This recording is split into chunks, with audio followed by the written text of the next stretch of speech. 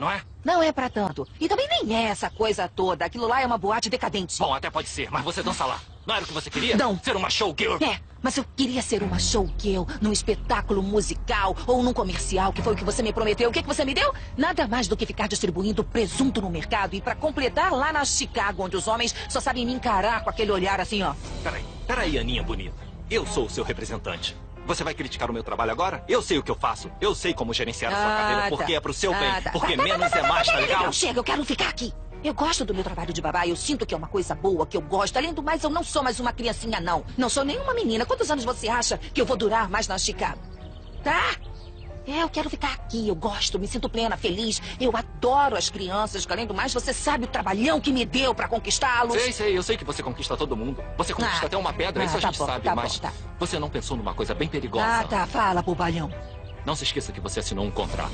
E o seu Dorival ficou furioso porque você não foi dançar nem na sexta nem no sábado. Vai ficar feio pro seu lado Peraí, e pro espera, meu o que, que também. ele disse? O que, que ele disse? O quê? Ele disse que você deve uma boa grana e vai te dar a maior bronca porque você não apareceu. Olha só, você vem aqui, faz um escândalo, diz um monte de coisas. Por que você não vai lá e diz alguma coisa pra ele, hein? A lábia que você tem é pra usar, Johnny, usar. Me dá uma mão, diz que eu tenho um monte de dívida, que ainda não consertei a minha casa. Fala, homem! Eu não sei, Ana. Quer dizer, eu posso tentar amansar o chefe, mas você sabe, ele não é de conversinha. E se você não voltar pra Chicago, sabe o que acontece? Ele te mata, tá?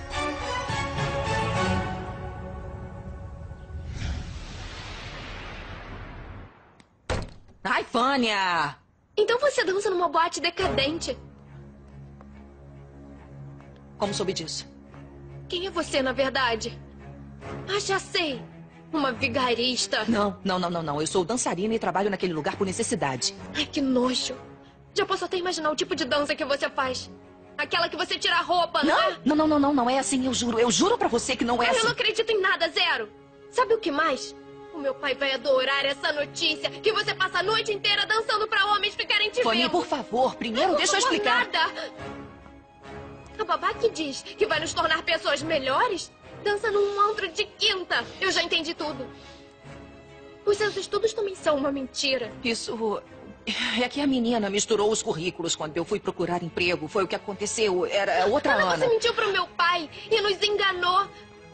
Não, Só de pensar que os meus irmãos gostaram de você. não, peraí, espera. Eu também gosto muito de vocês. Não sabe o quanto, Fanny. Ai. E além do mais, você não faz ideia da necessidade que eu tenho de ficar nesse lugar. Eu preciso desse trabalho. Minha casa incendiou. Fiquei sem nada, Fanny. É verdade, eu Olha juro. só. que- Pra que você saiba, quando meu pai chegar, eu vou dizer que você é uma mentirosa, uma impostora Não, e vai não, te não, não, não, vai demitir. ser necessário dizer nada. Eu não quero magoá-los, Fanny.